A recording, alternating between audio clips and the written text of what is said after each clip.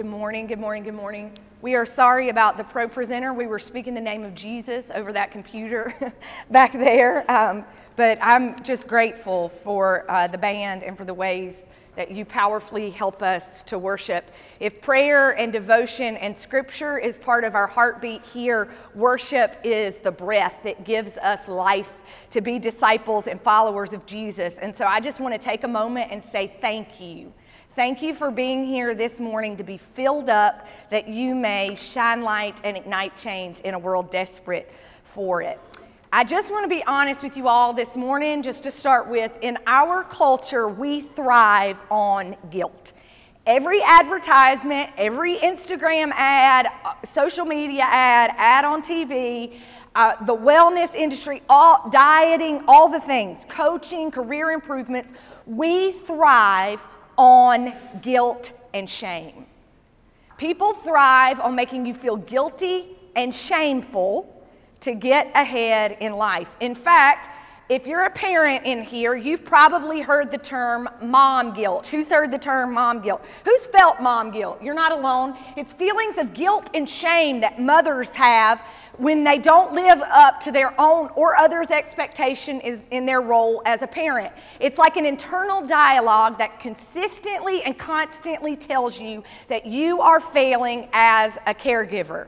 I've heard mom guilt so much in my life. Maybe some of you don't feel mom guilt, maybe you feel career guilt.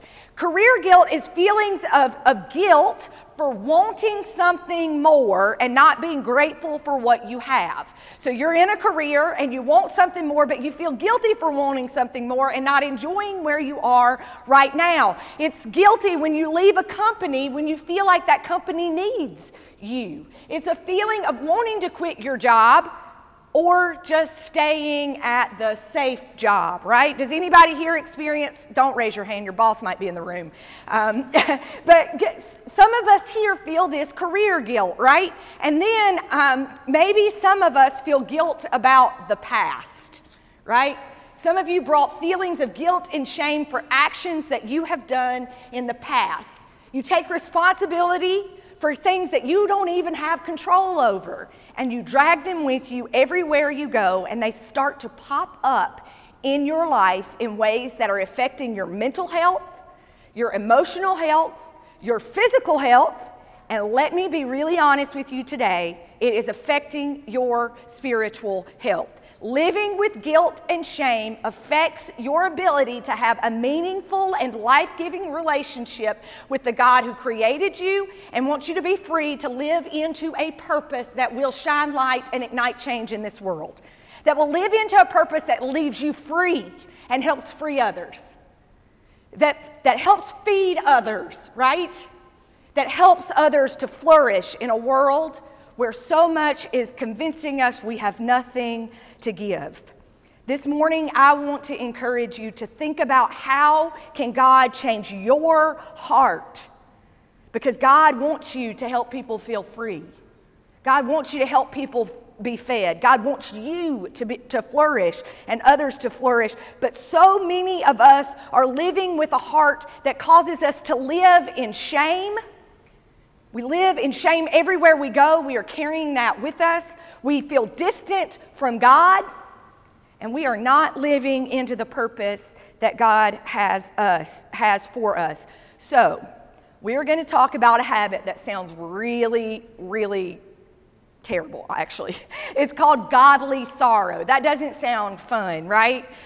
godly sorrow, seriously, Erica. But I'm telling you that this habit will draw you closer to God and free you from a life of shame, will bring you closer to the heart of God, and will help you to live into the purpose God has for you. So, we all hang with me for just a few moments as we talk about godly sorrow. If you have your Bibles, if you'll turn to Second Corinthians chapter 7, we're going to read verses 9 and 10.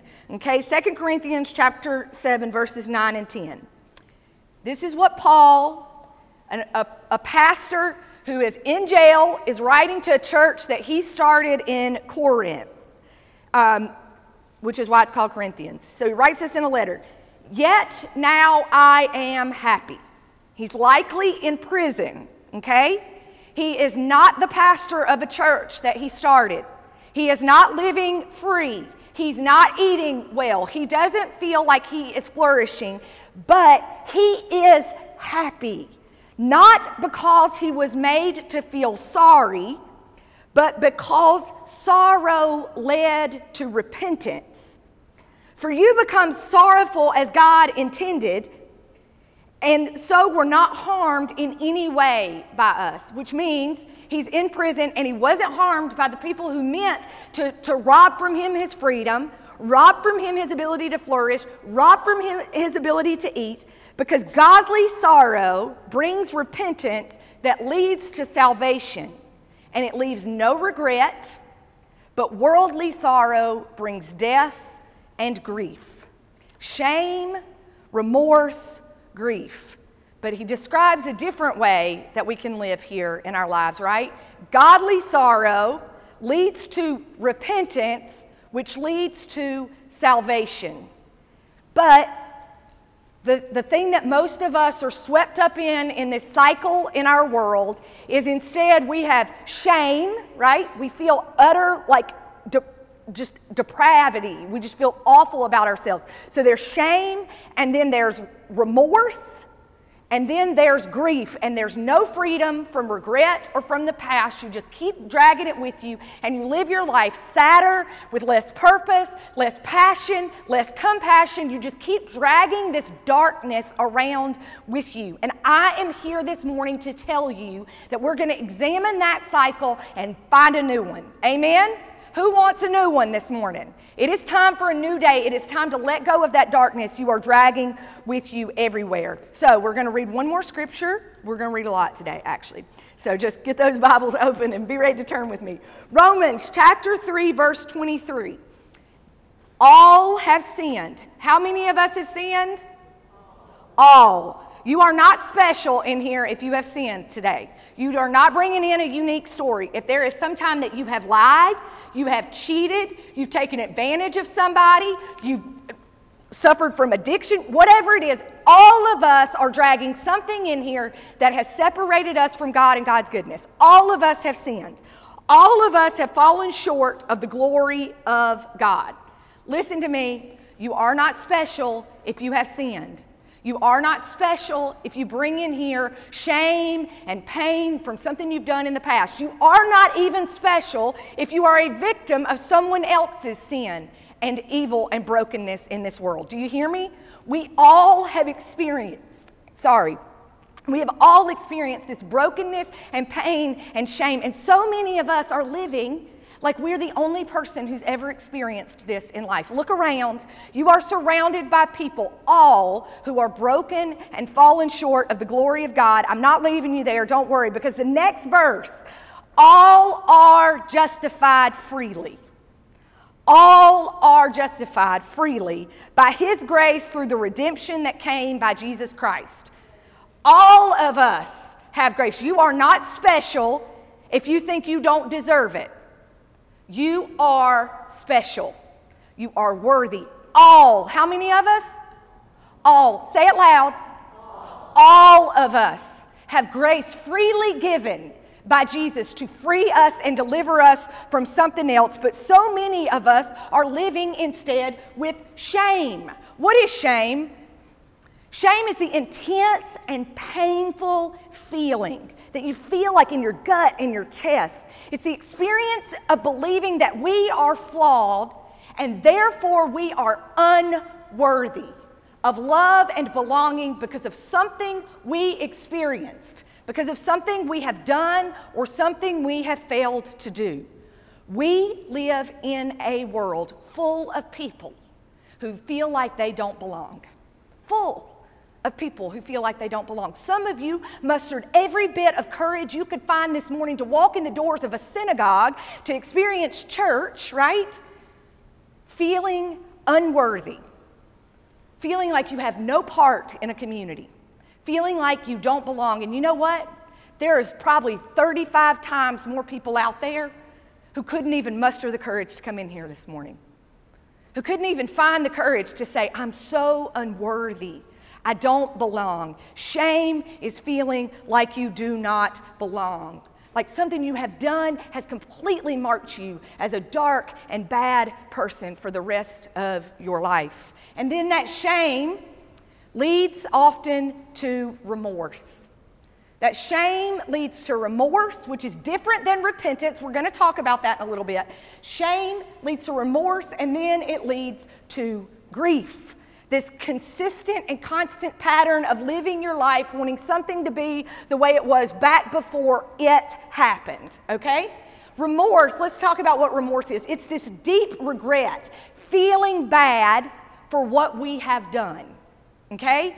It is not feeling sorry. It's just that we feel bad and dark and ugly and stained, unworthy for what we have done. This is where ads start to start to play on you. This is where those intrusive thoughts in your head start to play on you, right? This is where they start to say, "Yeah, you're not worthy. You're not good enough. No one likes you. You're not good at your job. You're not good at being a friend. You're not a good parent. This is where the, this leaves just enough room for you to start feeling really bad about yourself. Let's, um, let's read, um, go to the next slide. But your iniquities, something else happens when we start feeling remorse. Your iniquities have separated you from your God, and your sins have hidden God's face from you. Remorse does worse than make you feel bad. In the face of feeling unworthy and unloved and unimportant and dragging that darkness with you, you start hiding from God you start feeling distant from God. Some of you this morning are like, I can't even tell you the last time I heard from God. Crystalline was up here talking about feeling worshipful and, and the Spirit of God. I can't even tell you the last time I felt that. Then I'm going to ask you this morning what things have you starting to got, you've, you've started getting comfortable with doing that is separating you from God? What are the things that you've gotten comfortable with doing that has separated you from God because when you feel bad, what do you start doing?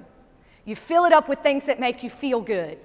Okay? We start filling those holes with things that make us feel bad, and we get further and further and further away from God, and we begin to feel unworthy of His presence or His love or His Spirit. We don't want to spend time with Him. This starts to develop a pattern. And then after that remorse, we start to feel deep grief. Okay? We start to feel deep grief. Let's Grief is everything is bad. It's the opposite of the Legos syndrome. If you've not watched that movie, go watch the Lego movie because this guy just goes around going, everything is awesome. The, the person who's living with grief is like, everything is bad. All the time, everything is bad. My career is bad. My family's bad. My food is bad. Everything is bad. We live with this, this lens, these glasses on where we can see no goodness in the world and all we see is darkness. And guess how much fun people are to live with who are dragging around grief and pain like that? I'll tell you, you're zero fun. You're about as much fun as a batch of poison oak. You're not fun. People want to stay away from somebody. You, you make people itch when you just come near. When you are when you bring this everything is bad, everything is wrong, nothing is good syndrome with you everywhere you go. No one wants to be around you. There's a different way to live. There's a different way to live, and it's called godly sorrow. It doesn't mean, listen to me, it doesn't mean that we pretend like nothing bad has ever happened. It doesn't mean we pretend like we've never done anything bad. It doesn't mean that we have to live some fake life like we've got everything figured out when we walk into church. There is a different way to live, and it's called godly sorrow. Let's go to the next slide. Godly sorrow leads to repentance, a true repentance, and then it leads to salvation. Let's talk about what these things look like. Godly sorrow is a recognition of brokenness. Right now, I want everybody to recognize, just close your eyes for just a second and think of something in this world that you know is broken. I'm just going to tell you there's an election coming up. You don't have to close your eyes for too long to know things are broken, right? There are broken things in our world. Godly sorrow simply recognizes there are broken things in our world. There is something that you are doing, you've made some choice or decision, and you had to choose between two not really good things, right? Some of you have brought that in with you this morning. Some of you have had to choose to pretend like something never happened, or hide from it, or let it never show up. Some of us are pretending like we don't live in a world full of brokenness and dark, darkness. Godly sorrow simply says we're going to recognize that we live in a broken world. Because why? All, who? All have fallen short of the glory of God by, by our sin, by our brokenness, by the pain that we bring in here. So, godly sorrow simply recognizes that we are broken. Can you go to the next slide? Blessed are those who mourn. These are the words of Jesus. People sat at the feet of Jesus, sad about what their lives looked like, what their synagogues looked like, what their country looked like. They were under Roman rule, and it was oppressive and dark and ugly and terrible. People sat at the feet of Jesus with medical diagnosis, with a, a friend who had leprosy, or a sister who was drinking too much, or a brother who, who couldn't get his life together. People sat at the feet of Jesus bringing their own things that they could not fit, feel or fix. And Jesus looked at them. These are the words of Jesus Blessed are those who mourn. Blessed are those of you who've looked at your life and the brokenness and the pain and the shame and the darkness of this world. Blessed. I will bring you deep joy, Jesus says. Blessed are those who mourn. Blessed are those who have the courage to turn to me, turn to God when there is sorrow, for you will be comforted. That, that initial twinge of pain that you feel, that initial twinge of darkness that you think might have the power to cover it all, it will not happen because what, what does Jesus say? Blessed are those who mourn, for you will be comforted. Bring your sorrow and your grief to God. Bring it to God. And then repent. Repent is not, I feel terrible and bad about what I've done and I wanna, I wanna hide from it. It is, I have done some bad things and I'm not running that way anymore, but I am running to Jesus. I'm running to the arms of God. Repent is literally walking this way, realizing it doesn't work when you get down on your knees and with, with, with just absolute nowhere else to turn, you give that sorrow to God. You have a moment of godly sorrow, and then you turn around and you start doing something different. Repent is turning to God. In remorse, we run away from God because we feel unworthy and unlovable. Repentance turns us towards God because I want you to listen to how, how, how the Bible describes our God. Listen to this scripture. Do you know? Do you know the riches of God's kindness, forbearance, and patience? Do you realize God's kindness is intended, intended to lead you to repentance? When you turn to God, you're not going to get it. you're awful and terrible and the worst person ever. You know what you're going to get? Finally, welcome home. I love you. I want to give you kindness and compassion. I've been waiting for you. I have forbeared for years waiting for you to turn away from the way you are walking, dragging grief and pain and shame and darkness with you everywhere. I have been waiting, forbearing for you to turn to me. I have been patient. I haven't been saying, I haven't been nagging, get over here, get over here. I have patiently used every bit of my grace and power to be calling you unto me. Do you know that kind of richness? You don't have to hide from a God who wants you and all of you. You don't have to keep feeling that great pain and, and, and remorse and, and, and all that stuff anymore. You can simply turn and repent. Remorse, I mean, not remorse, godly sorrow leads to repentance and then it leads to salvation. We throw this word around in the church all the time, right? Salvation, salvation, salvation. Salvation is deliverance to a new day. It, it, means that instead of walking this way into the same old day, doing the same old thing in the same old way, you turn and go towards God and you walk into a bright new day, a day where you are freed from all that stuff you've been dragging for too long anyway. A day where you are fed with things that actually feed you up and fill you with the good stuff, not the pretend good stuff that helps you to hide and run away. You are fed and it is a place where you flourish, where you can walk confidently and proudly into the new day and the purpose that God has for you. And when you do that, when you reach out to God's salvation offered to you through Jesus that says you are lovable, you are worthy, and I can use every part of your story to help other people walk into a new day, you start to shine light and ignite change so other people can experience this. And you're like, tell me a story about that, Erica. Does it really happen? First, I want to read this to you. Romans 3 25 through 26. This is from the message version. I want you to listen. If you don't think that you are worthy of this, God decided on this course of action. God decided to send Jesus Christ to model a way of living without sin and darkness and pain and grief. He decided to send Jesus here and show us with the power of forgiving people from their sins and their pain and their grief and all these things that they've carried away.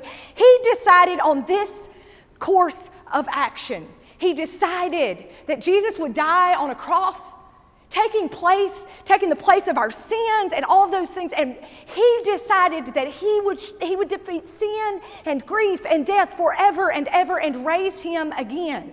So we would have no excuses. God decided on this course of action in full view of the public. All of us can see this and experience this. To set the world in the clear with himself. No more muddy griminess in front of him. Through the sacrifice of Jesus, finally taking care of the sins he had so patiently endured. Jesus walked this earth recognizing all of the brokenness and pain here. This is not only clear, but it's now. This didn't just happen 2,000 years ago. Jesus is still, the power of Jesus is still working. The current, this is current history. Because you know what God does? Say it with me. God sets things right. Let's say it one more time. God sets things right. Our God sets things right. Some of you I know are like, Erica, are you sure? Are you sure? I've got a picture, I think. This is my friend Katie Glasser. She um, was the first person to know about Horizon Church about eight years ago. Chris and I um, were moving from Nashville to Tampa, and um, she was our realtor, and she we're, Chris had to go back home to do something, and she and I went house hunting in the pouring rain in Tampa, Florida, like this week. Um, it wasn't this week, but that's what the rainstorms felt like, the ones we dealt with this week. So we're riding around in her car, and she says, um, Why are y'all moving here? And I was like, Oh, we're going to start a new church. I'm a pastor, and you just never know where this conversation is going to go, especially when it's just the two of you in the car and she's driving. I'm like, I don't know where this is going to go. And she goes, she stops at the stoplight. She goes, Oh, cool, tell me more. And I was like, Oh, thank goodness. she doesn't think I'm a weirdo. So I start telling her about how Chris and I prayed for years and years and years for people by name that lived here in Tampa, for friends that he went to high school with, for, for people that we knew. We, we just started praying on our knees for people in this community one day. And a few years later, through patience and forbearance, a few years later, we got a call and they asked us if we'd be interested in starting a new church here in Tampa, Horizon Church. And I wind up in Katie Glasser, who Chris went to high school with, in her car. And she says, I think South Tampa needs this. There are so many people who are hiding from all kinds of things that they've done. There is people living with so much pain and addiction that they don't even know what to do. South Tampa needs this, Erica. South Tampa needs this.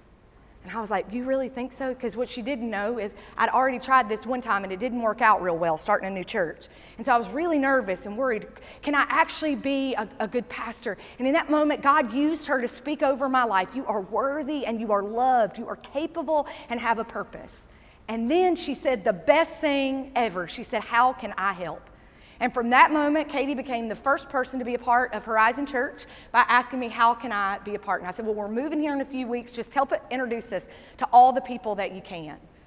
And a couple, uh, once we moved here, we sat down and we had coffee together. And this is what I learned about Katie. I thought she was this deeply committed Christian person who'd never, ever known what it was like to not be in church. That was not her story. That was not her story. It was a story of addiction, it was a story of pain, it was a story of shame. It was a story that she decided she was no longer going to live into.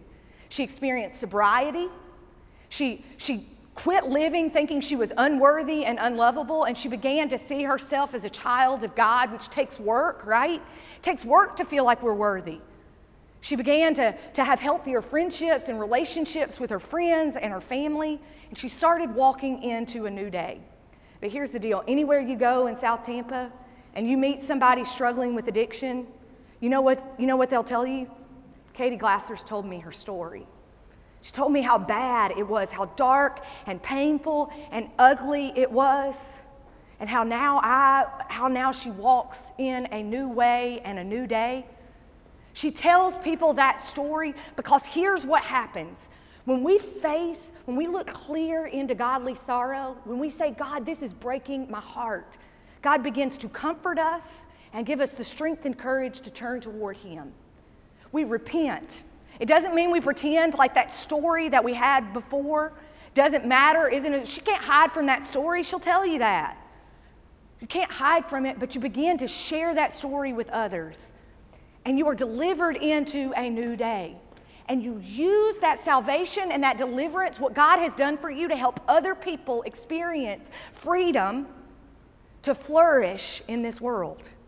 Katie is a prime example of that. She uses every bit of her power to help other people know that they are loved and they are worthy, and there is no sense in living with all that pain and guilt and grief. I'm asking you this morning what is it that you have been carrying for too long? Can you give it to God this morning? Can you give it to God this morning? Can you find courage to quit getting up every day going through the same motions and repent? Turn a different way. Spend time with God, with people in this church, in a small group. Serve other people. Can you start to do that? Can you repent? And can you step fully and faithfully into the deliverance that God has from you dragging all of those things with you? There's a song that we used to sing in the Baptist church that I grew up in. It was called The Old Rugged Cross. It is a gift of Jesus, that old rugged cross, for all of us. It wasn't, we weren't saved by this beautiful, amazing firework display in the, in, we were saved by just a normal, everyday emblem of shame and pain. And Jesus freed us, literally frees us from that. So quit walking in that way and repent and turn towards God. It's time. It's time for us to be free. It's time for us to be fed with the actual good stuff, and it's time for us to flourish so that other people can be free, so that other people can be fed, so that other people can flourish. Horizon Church, can we do that? Can we be free this morning? Can we be fed this morning? Can we agree and turn towards God so that we can flourish, so that others may too? Will you pray with me? God, I pray over these people. Every single one of them that know way too much about the brokenness of this world. And I pray that in those dark places of their heart and soul, God, you will shine light, showing them that your power through Jesus is more powerful than anything they've ever experienced or carried. Free them from it this morning, God. Give them the courage and the strength to turn to you and walk boldly and confidently into a new day.